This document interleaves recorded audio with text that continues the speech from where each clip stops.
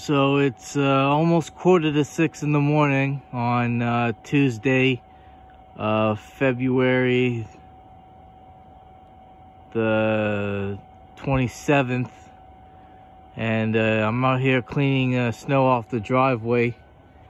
It's uh, it's not it's, it's not too bad. So just about finished shoveling the driveway. As you can see, the accumulation of snowfall to my left is uh, pretty significant.